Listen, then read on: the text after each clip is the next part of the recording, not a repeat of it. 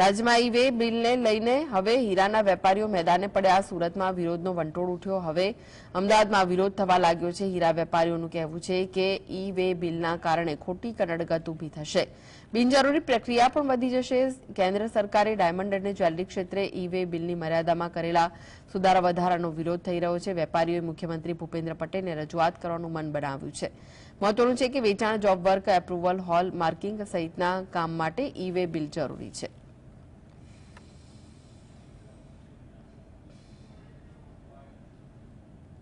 ડાયમંડના વેપારી સિવાય કોઈ ડાયમંડના પડીકા લેશે નહીં. એટલે આ કોઈ કોઈ બીજો જનરલી ધંધો નથી. આ જવેરાતનો ધંધો છે. આ સોના કરતા મોંઘું છે ડાયમંડ. એટલે મહેરબાની કરીને આ ઈ બિલનું પાછો કાઢે, પાછું ઠરાવ કર્યો છે. એ પાસ કર્યો કેન્સલ કરે.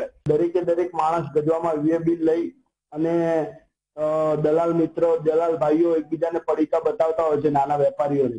તો દરેક જગ્યાએ ઈવે બિલ લઈને બતાવવું એ અશક્ય છે બજાર માટે. કારણ કે દલાલોની સંખ્યા બજારમાં ઘણી વધારે છે.